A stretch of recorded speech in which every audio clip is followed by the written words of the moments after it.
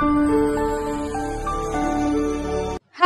എല്ലാവർക്കും ജോഗിച്ചൻ ഡയറീസിലേക്ക് സ്വാഗതം. ഇന്ന് നമ്മൾ തയ്യാറാക്കാൻ പോകുന്നത് അമൃതം പൊടിയും കൊണ്ടുള്ള ഒരു അടിപൊളി പാൻകേക്കാണ്. വളരെ ഈസി ആയിട്ട് തയ്യാറാക്കാൻ പറ്റുന്ന നല്ല ടേസ്റ്റ് ഉള്ള നല്ല സോഫ്റ്റ് ആയിട്ടുള്ള പാൻകേക്കാണ് അപ്പോൾ എല്ലാവരും തയ്യാറാക്കി നോക്കുക. അപ്പോൾ വീഡിയോയിലേക്ക് പോകുന്നതിന് മുന്നേ നിങ്ങൾ ആദ്യമായിട്ടാണ് ഈ ചാനൽ കാണുന്നതെങ്കിൽ ഒന്ന് സബ്സ്ക്രൈബ് ചെയ്തേക്കുക. കൂട്ടത്തിലുള്ള ബെല്ലൈക്കൺ കൂടെ ഒന്ന് അമർത്തണേ. അപ്പോൾ അതിനായിട്ട് ഞാനിവിടെ ഒരു വലിയ ഏത്തപ്പഴമാണ് എടുക്കുന്നത്. ആ ഒരു ഏത്തപ്പഴം അരിഞ്ഞതിന് ശേഷം നമുക്ക് മിക്സിയിലേക്ക് ഇട്ട് കൊടുക്കുക. അതിലേക്ക് ഞാൻ ഒരു മുട്ടയും കൂടെ ചേർക്കുന്നുണ്ട്. ഇനി ഞാൻ അതിലേക്ക് ചേർക്കുന്നത് ഒരു കാൽ ടീസ്പൂണോളം വാനില എസൻസ് ആണ്. അപ്പോൾ നിങ്ങളുടെ കയ്യിൽ വാനില എസൻസ് ഇല്ലെങ്കിൽ ഏലക്കാപ്പൊടി ചേർത്ത് കൊടുക്കുക. മുട്ടയുടെ ആ രുചി കിട്ടാതിരിക്കാൻ വേണ്ടിയിട്ടാണ്. പിന്നെ ഞാൻ ഇതിലേക്ക് ഒരു കാൽ കപ്പ് പഞ്ചസാരയും കൂടെ ചേർക്കുന്നുണ്ട്. പഞ്ചസാര അവരുടെ മധുരത്തിനനുസരിച്ച് എടുക്കാവുന്നതാണ്.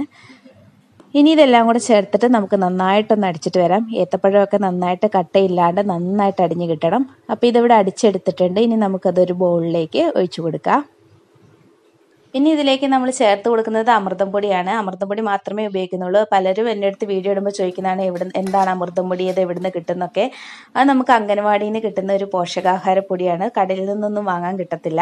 അതും ആറ് മാസം മുതൽ മൂന്ന് വയസ്സ് വരെ പ്രായമുള്ള കുട്ടികൾക്കാണ് കിട്ടുന്നത്. അപ്പോൾ ഇതിലേക്ക് ഞാനിവിടെ ഒരു ഒന്നേകാൽ കപ്പ് അമൃതം പൊടിയാണ് ചേർത്ത് കൊടുക്കുന്നത്. പിന്നെ ഒരു കാൽ ടീസ്പൂണോളം ബേക്കിംഗ് സോഡ ചേർത്ത് കൊടുക്കുന്നുണ്ട്.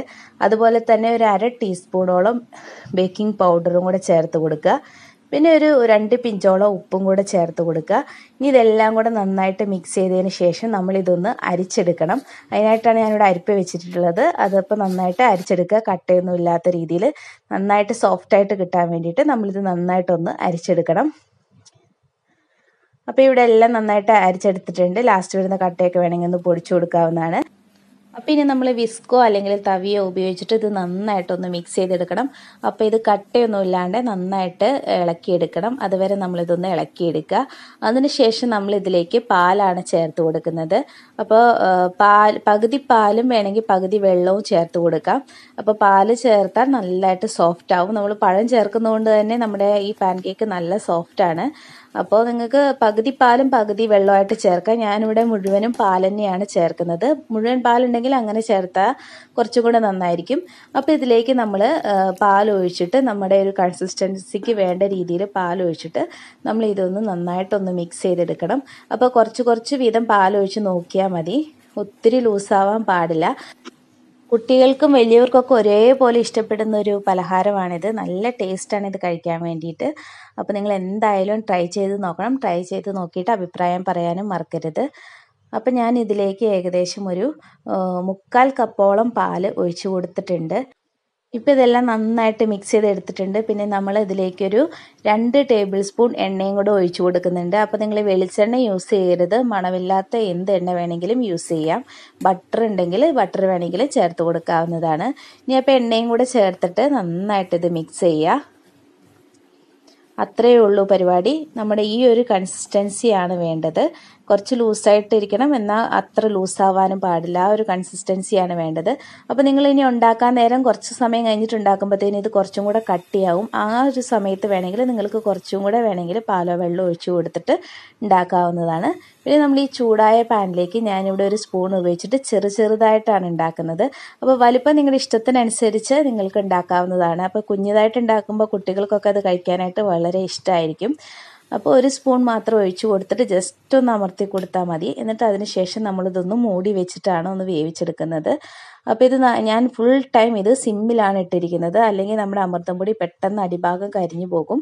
അപ്പോൾ മുകൾ ഭാഗം നന്നായിട്ട് ഡ്രൈ ആയ സമയത്തും നന്നായിട്ട് ഹോൾസ് വന്നതിന് ശേഷവും നമ്മൾ ഇതൊന്ന് മറിച്ചിട്ട് കൊടുക്കണം. അപ്പോൾ നമുക്ക് മറിച്ചിടാനും വളരെ ഈസി ആയിട്ട് പറ്റും. അല്ലെങ്കിൽ നമ്മൾ തുറന്ന് വെച്ചിട്ടാണെങ്കിൽ നമുക്ക് ഒത്തിരി സമയം എടുക്കും വെന്ത് കിട്ടാനായിട്ട്. എല്ലാം മറിച്ചിട്ടതിന് ശേഷം നമുക്ക് പെട്ടെന്ന് തന്നെ ഇത് പാനിൽ നിന്ന് എടുക്കാൻ പറ്റും. കാരണം അത് പെട്ടെന്ന് തന്നെ അപ്പുറത്തെ ഭാഗം ഒരു കളർ ചേഞ്ച് ആയി കിട്ടും. ആ ഒരു സമയത്ത് നമുക്കിത് എടുത്തു മാറ്റാവുന്നതാണ്. അപ്പോൾ ഇതുപോലെ തന്നെ നമുക്ക് ബാക്കി എല്ലാതും തയ്യാറാക്കിയെടുക്കാം അധികം സമയമൊന്നും വേണ്ട. പെട്ടെന്ന് തന്നെ നമ്മൾ മൂടി വെക്കുന്നതുകൊണ്ട് പെട്ടെന്ന് തന്നെ റെഡിയായി കിട്ടുന്നതാണ്. പിന്നെ അടി കരയാതെ ശ്രദ്ധിക്കണം. മോൾ ഭാഗം ഒന്ന് ഡ്രൈ ആകുമ്പോഴത്തേനും നമ്മൾ പെട്ടെന്ന് തന്നെ ഇത് മറിച്ചിടണം. അത്രയേ ഉള്ളൂ ഇതിന്റെ പരിപാടി. നല്ല ടേസ്റ്റാണ് അമൃതം പൊടിയും കൊണ്ട് തയ്യാറാക്കാൻ പറ്റിയിട്ടുള്ള ഏറ്റവും നല്ല നല്ലൊരു പലഹാരമാണിത്. എല്ലാവരും ട്രൈ ചെയ്ത് നോക്കുക.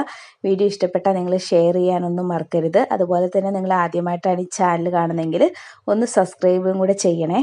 അപ്പോൾ ഇതെല്ലാം ഇവിടെ റെഡി ആയിട്ടുണ്ട്. ഞാൻ എല്ലാം പാനിൽ നിന്ന് എടുത്തു മാറ്റുകയാണ്.